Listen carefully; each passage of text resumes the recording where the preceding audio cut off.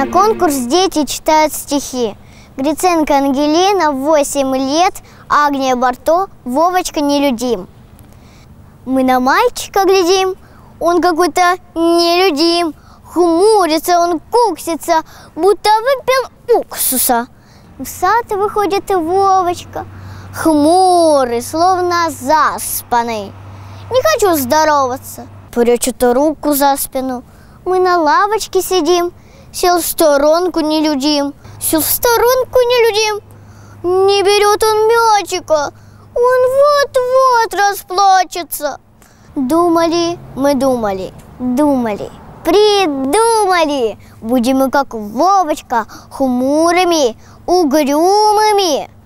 Вышли мы на улицу, тоже стали хмуриться. Даже маленькая Люба, ей всего-то года два, тоже выпятила губы и надулась, как сова. «Погоди!» – кричим мы Вове. «Хорошо мы хмурим брови!» Он взглянул на наши лица, собирался рассердиться. Вдруг как расхохочется, звончик колокольчика замахал на нас рукой. Неужели я такой? Ты такой, кричим мы Вове. Все сильнее хмурим брови. Он пощаду запросил. Ой, смеяться нету сил. Он теперь не узнаваем. С ним на лавочке сидим.